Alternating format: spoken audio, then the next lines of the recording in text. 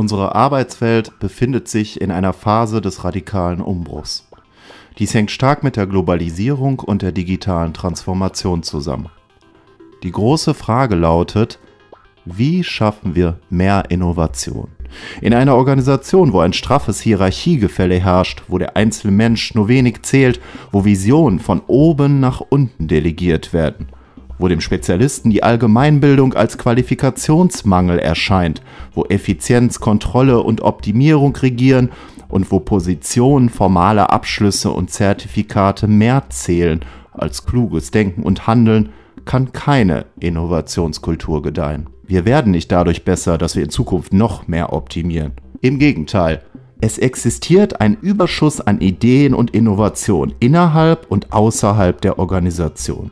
Organisationen wie Universitäten und Unternehmen, der so lange verpufft, wie auch weiterhin die Vorstellung hochgehalten wird, man könnte mit den Mitteln der Industrialisierung die digitale Transformation meistern. Noch mehr Kontrolle, noch mehr Effizienz, noch mehr Optimierung. Also denken sich besonders engagierte und kluge Menschen, warum soll ich meine ganze Energie für Alpha-Organisationen verschwenden? Also für Organisationen, die ein statisches Weltbild vertreten, die zwischen Denken und Handeln trennen und die nicht dazu in der Lage sind, ihr Hierarchiedenken abzulegen, wenn es um Innovationsfragen geht. Die Pyramide ist dabei die Grundform dieser Organisation. Wir finden sie schon vor Tausenden von Jahren im alten Ägypten. Und jetzt stellen Sie sich einfach vor, Sie würden in eine Zeitmaschine einsteigen und sagen wir von der Zeit der Pyramiden in die Epoche der Industrialisierung reisen. Ja. Zu Zeiten der Industrialisierung mit dem Taylorismus war nicht nur die Rationalisierung von Arbeitsprozessen und die Massenproduktion verbunden,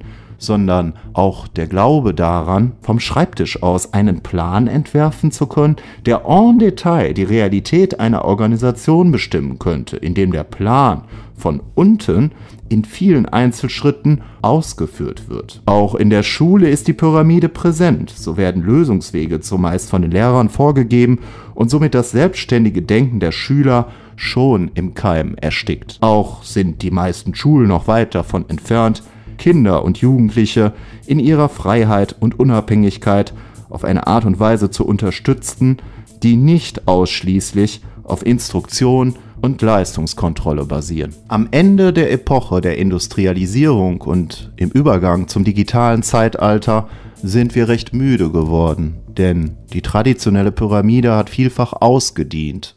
Das Positive, die Türen stehen weit offen für ein neues Denken und ein neues Arbeiten. Das Internet ermöglicht uns heute mit relativ geringen Mitteln und vergleichsweise niedrigen Kosten Plattformen zu gründen und Bewegungen ins Leben zu rufen. Ein Beispiel ist die Bewegung der Maker. Immer mehr Menschen werden selbst zu Herstellern. Der Maker produziert selbst oder lässt sein eigenes Produkt herstellen. Dazu baut er eine Produktionskette auf. Auch Menschen, die viel mit Kopf und Computer arbeiten, so genannte Wissensarbeiter, können zu einem Maker werden. Nämlich indem sie als digitale Experten Podcasts produzieren, professionelle Blogs schreiben, eigene Online-Kurse und andere digitale Angebote entwickeln. Stellen Sie sich vor, Sie würden selbst eine Expertenreihe als Podcast entwickeln, diese zunächst auf Ihrem Blog vertreiben, schließlich auch auf iTunes anbieten und diese Sendungen würden sich immer größerer Beliebtheit erfreuen. Das wäre doch toll, oder nicht?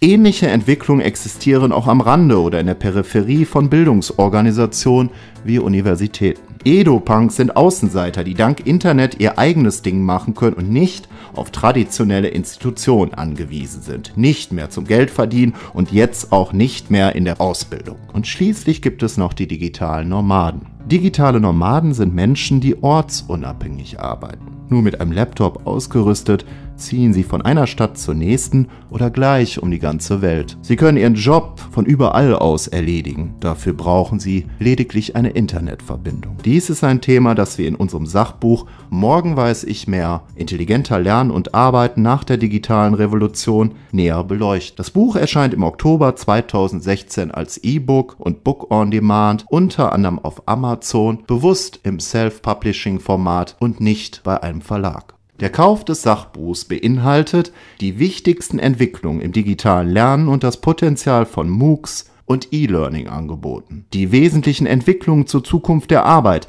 die Megatrends von morgen. Interviews mit namhaften Experten, Psychologen, Forscher, kreative Manager. Ein zusätzliches Strategiekompendium, das verschiedene Möglichkeiten aufzeigt, wie Sie als angehende Experten neben der Arbeit, vielleicht in einer Festanstellung, ein smartes Geschäftsmodell auf der Basis von digitalen Wissensprodukten verwirklichen können. Und schließlich gibt es noch eine umfangreiche Komponentenliste mit 100 digitalen Diensten zu solchen Bereichen wie Online-Weiterbildung, digitale Wissensprodukte gestalten und vertreiben und Tools für produktiveres Arbeiten im digitalen Zeitalter. Zunächst wären da die Angestellten, die durch die Nutzung digitaler Technologien die eigene Flexibilität und Produktivität steigern wollen und die in unserem Buch verschiedene Wege, Möglichkeiten und Strategien aufgezeigt bekommen, wie sie das auch tatsächlich realisieren können. Dann wären da die Führungskräfte, die mehr über agile Methoden des Managements wissen wollen. Designer, die sich für die Entwicklung von digitalen Geschäftsmodellen, für die Entwicklung von digitalen Beratungsmodellen und die Erweiterung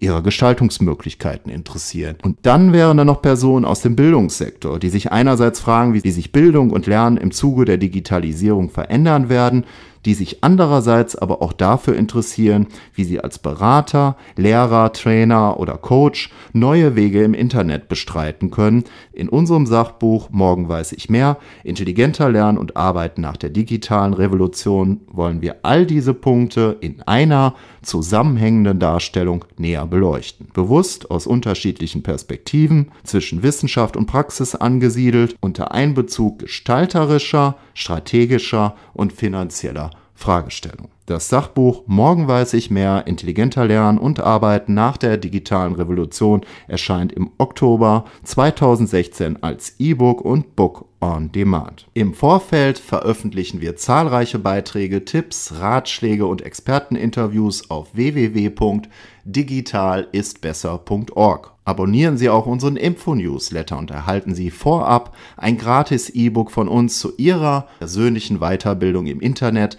mit zahlreichen Empfehlungen und Plattformhinweisen. Wir freuen uns auf Sie. Danke.